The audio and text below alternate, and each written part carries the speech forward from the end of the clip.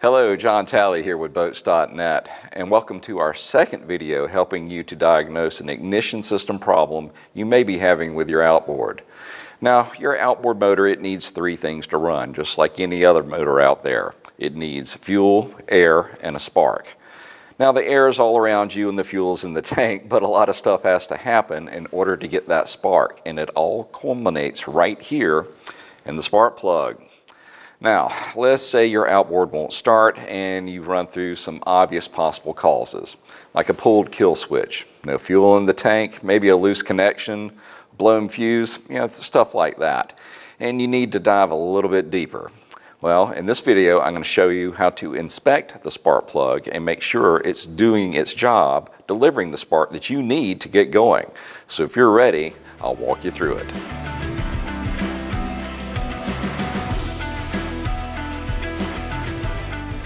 Okay guys, the first thing you're going to need to check as well, are you getting electrical current down to the spark plug? Now to test that, you need to pick up some type of inline spark plug tester. Now there are several different manufacturers out there. You just want to find one that is adjustable so you can determine just how strong that spark is. Now what you're going to want to do is pull off a spark plug wire. You're going to connect it to this piece of a test equipment and then the spark plug tester goes to the top of the spark plug. Now you're going to turn over the engine to see if you can see a spark jump across the gap on those two points. Now if it doesn't, you're not getting any power and if it's dim, you may not be getting enough. Now if it's nice and bright, well that means you're good. Now you can adjust the gap between these two points and the further out they are, if you can get a spark to jump across that, that's an indicator of a really healthy spark and that's what we're after. Now once you've done one, if you have a multi-cylinder engine, move on to the next spark plug until you've tested them all to make sure they're all getting power because sometimes that'll help you isolate if there's a problem on either one of your coils or the spark plugs themselves.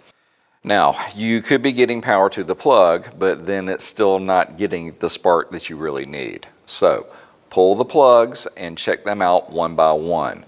This can tell you if the plug's okay and give you clues to as to whether or not the stuff is going on inside of your engine. For example, if you pull the plug and you see oil on the electrode, now in a four-stroke, that can mean you're getting oil past the rings or gaskets or maybe even the valve seals and it's getting down into the combustion chamber. Now in a two-stroke, it can mean there's, well, too much oil in your fuel mixture.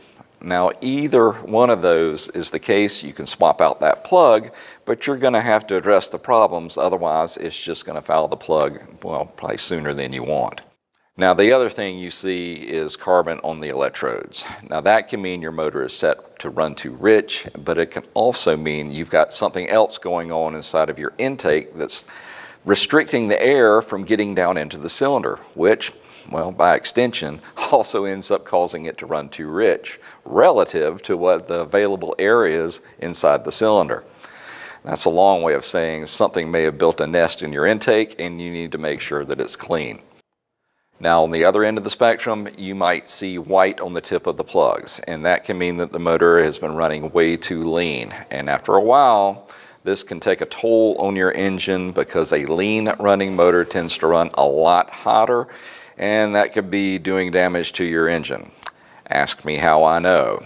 One bad tune wiped out an engine in one of my vehicles. It was not pretty. It got so hot, heated up a valve to where it broke off, and then turned the engine into a blender. Not a good day. Now, the last thing you want to check is the spark plug gap. You can check this with a feeler gauge, or they have feeler gauge tools that are made for a spark plug to where you can adjust it. And you want to make sure that it's set just right.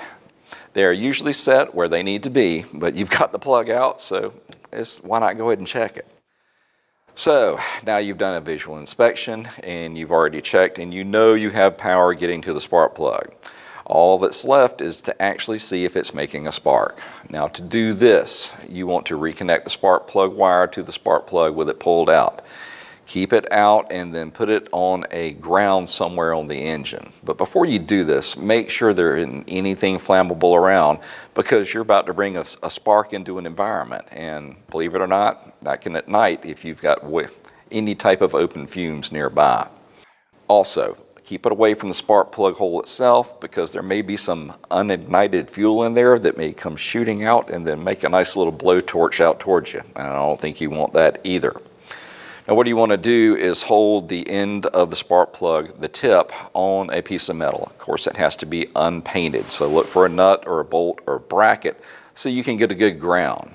And then turn the motor over to see if you see a spark. Now if the spark is yellow or orange, that means the spark plug is weak and you might want to just change the plug.